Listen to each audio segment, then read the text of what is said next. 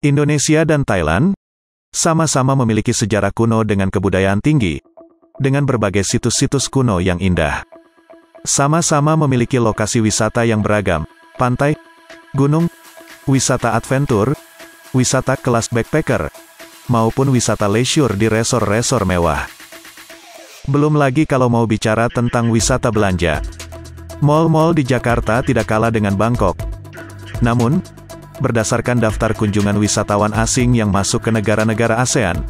Seperti yang dilansir dari Good News from Southeast Asia, pada tahun 2019, tahun awal COVID-19 melanda.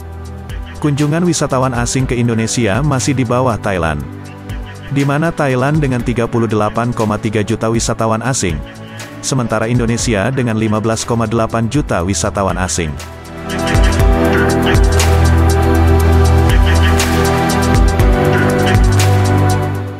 Akomodasi dan sistem transportasi. Inilah yang menjadi salah satu keunggulan Thailand. Banyak akomodasi mewah di Thailand yang dibanderol dengan harga ramah kantong.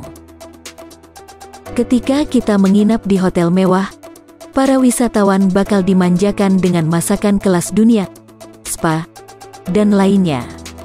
Tak ingin hotel mewah, ada juga penginapan untuk para backpacker. Bukan hanya itu saja, sistem transportasi di Thailand terorganisasi dengan baik. Dari negara mana pun, Thailand menawarkan tiket perjalanan dengan harga yang wajar.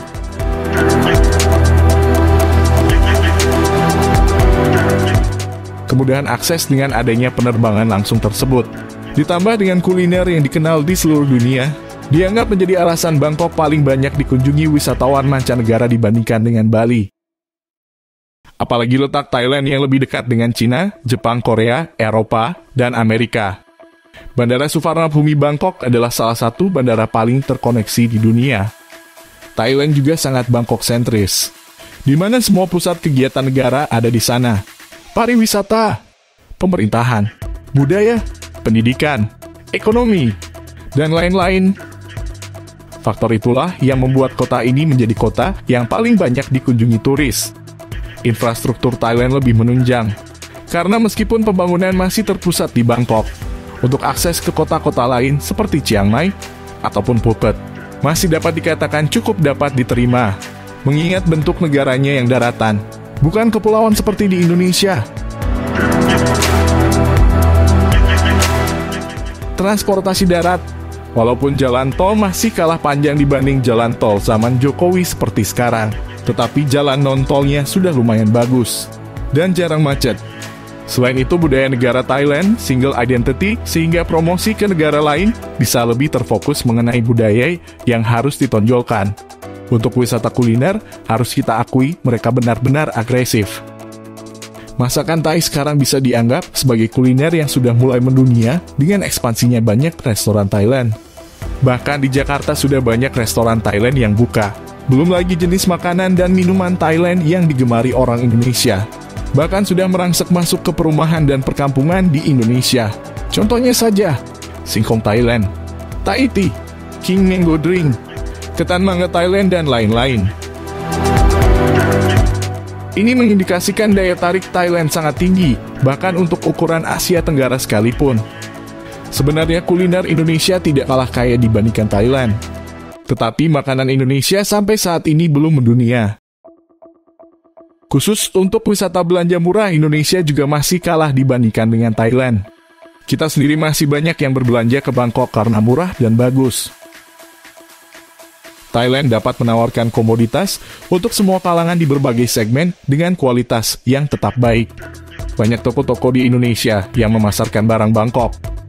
Jadi, mengapa wisatawan luar negeri harus berbelanja di Mangga 2 kalau barang-barangnya pun berasal dari Thailand?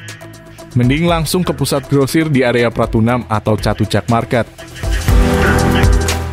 Kita juga bisa ke supermarket raksasa terbesar di Thailand, Big J Supercenter Raja Damri. Ini bisa jadi tempat yang tepat untuk memborong aneka produk makanan dan jajanan khas Thailand untuk membeli oleh-oleh. Di sini pilihan produknya sangat banyak dan tentu saja harganya murah meriah. Satu lagi yang berbeda dengan Thailand, mereka juga diunggulkan pada wisata malam.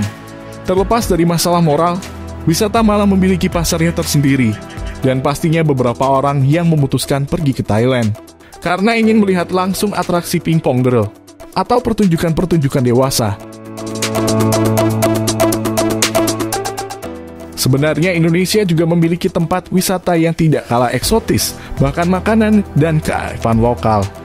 Namun semua itu terkendala akses. Mereka, turis asing, tak punya pilihan penerbangan langsung dari kota asal ke kota-kota tujuan utama wisata di Indonesia. Selain itu, kota penerbangan di bandara kota wisata seperti Bandara Igusti Ngurah Rai di Denpasar sering penuh. Selain akses faktor amenitas yang berhubungan dengan ketersediaan dan pilihan hotel, serta transportasi lokal juga masih kurang.